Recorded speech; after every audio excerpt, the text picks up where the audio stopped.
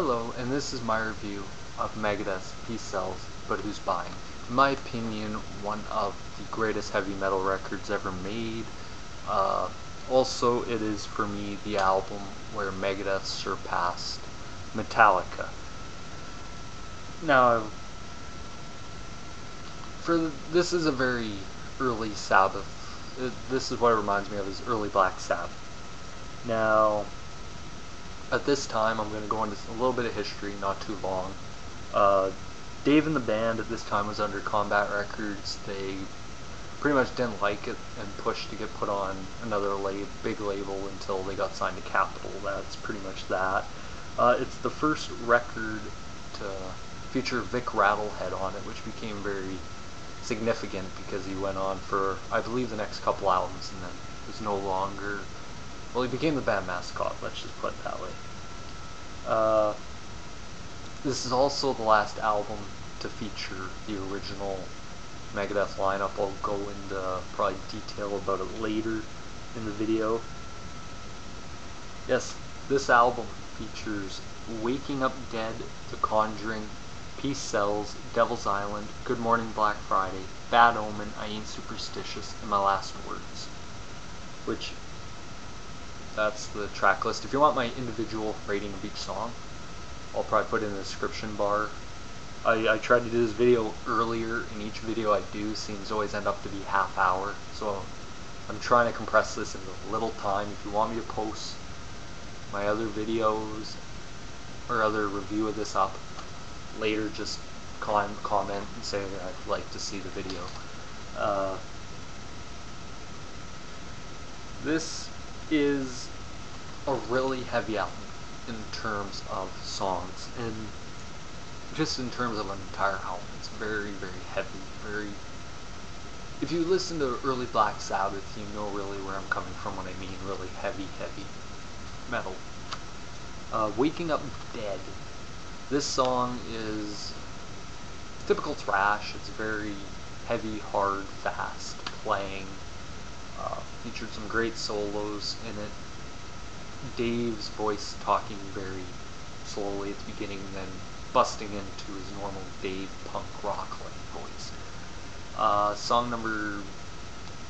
Oh, yes, and this also features some really great in this entire album. I'll say this probably repeatedly. Gar Samuelson is a machine on this album. He's great on this record. Uh, song 2, The Conjuring. Now, this is about the time where Dave was really into the occult and witchcraft around this time, and the devil and all this. And it really comes out in The Conjuring, Good Mourning Black Friday, Bad Omen, very much so, those songs. The Conjuring is also very important to this album because this is on this album. Dave soloed this entire album all the solos you Dave, which is actually kind of shocking, and it really started, I think, to show what would become of Chris Poland and all that. The next song is probably is by this time their most famous, Peace Sells. Uh, this is probably the first thrash metal record to get a pretty much to get a music video, I think. I'm not sure about this, comment if I'm wrong, I'm not sure. But the famous part of the video where the kid, or where the father walks in and the kid's there, says, turn it, I want to watch the news, and the kid turns back and he's like, this is the news, and it really hit you very well.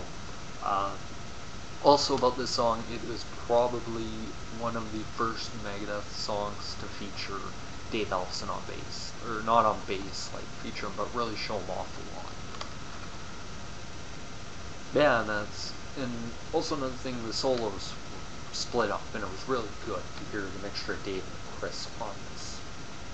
Uh, the next song, Devil's Island. Now, Devil's Island is probably especially the opening riff is one of the most reused Megadeth riffs. It's very, very simple, straightforward, easy opening riff.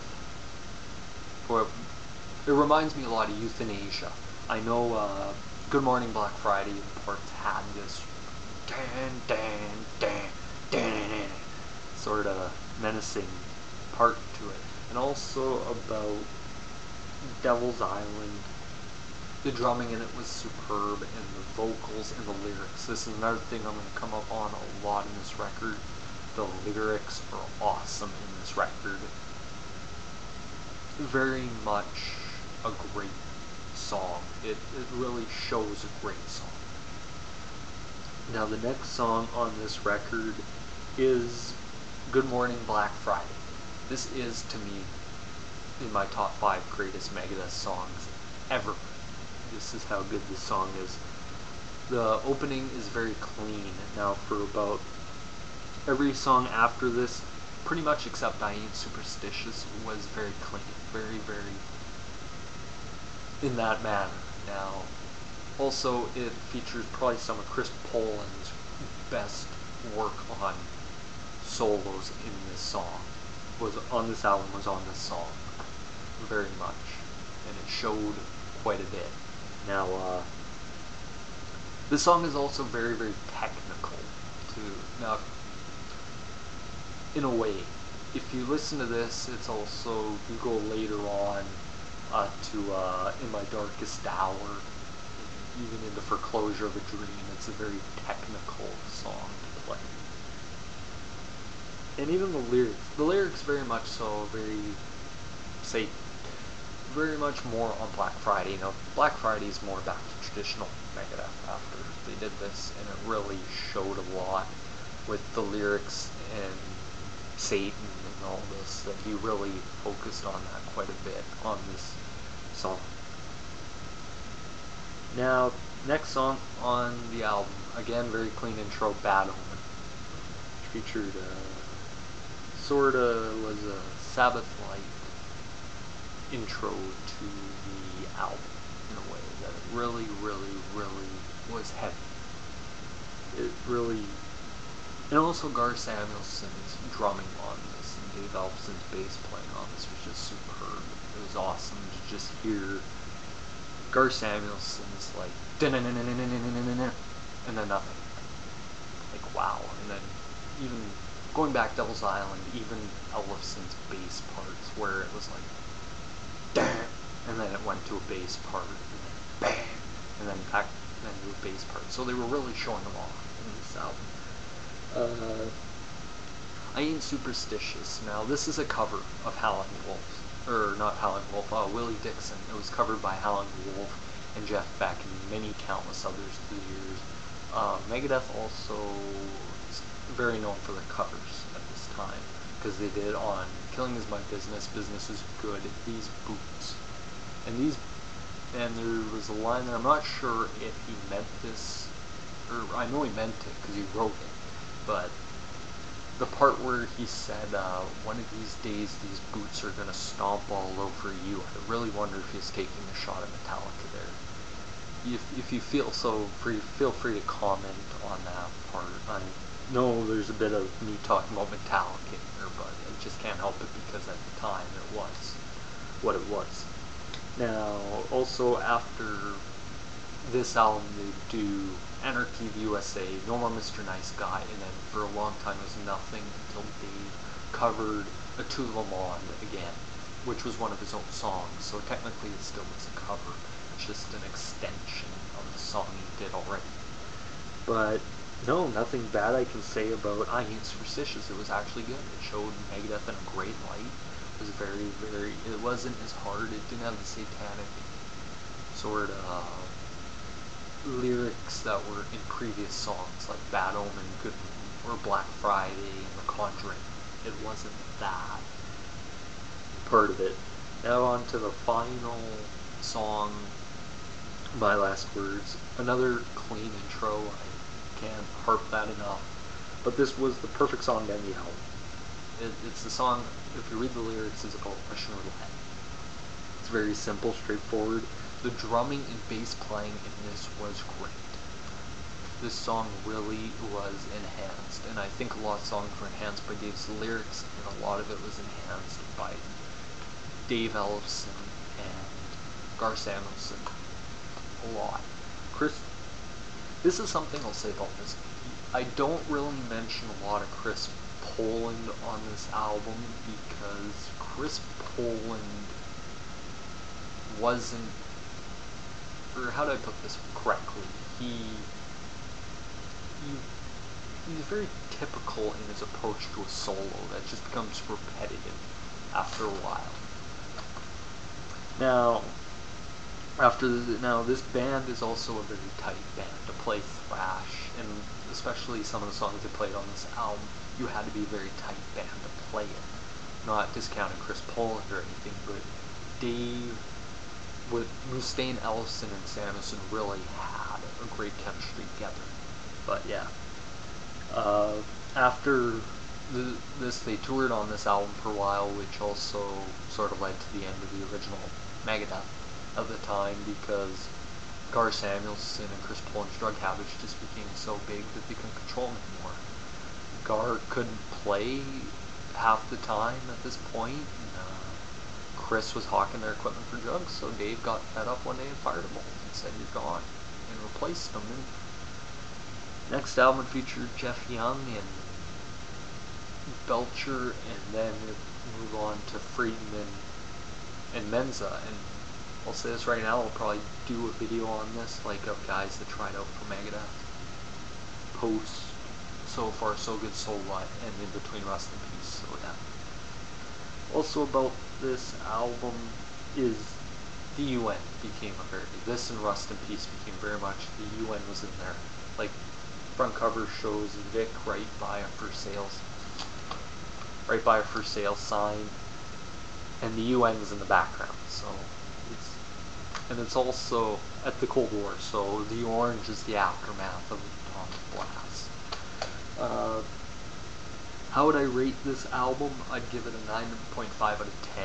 Now I know I'm being picky, there's some parts that were great and they could have enhanced a little bit, and there's some parts where just turn it down or just just little technical things that I'm just picking out. And it's not I if you give this album a 10 out of 10, I wouldn't blame you if you gave it a 10 out of 10, but that's just my opinion. It's a very heavy record. It's very heavy. If you're not used to very heavy, heavy, heavy music, it, it would be a shock to listen to this record. Yes, I suggest buy this record. It's a great record, great album. It's worth pretty much 20 bucks. Like, if you find it for 20 bucks, it's worth it, hands down. Uh, I don't suggest downloading it. The only time I ever have downloaded an album is when it's pretty much out of print where I can't find it anymore. And I want to listen to it and actually hear the album. So I might download it. That type of downloading, I have no problem. If it's a brand new album, an album is still fine, please buy it. And another thing about Megadeth is I tell this to people I know, you can never go wrong buying a Megadeth record.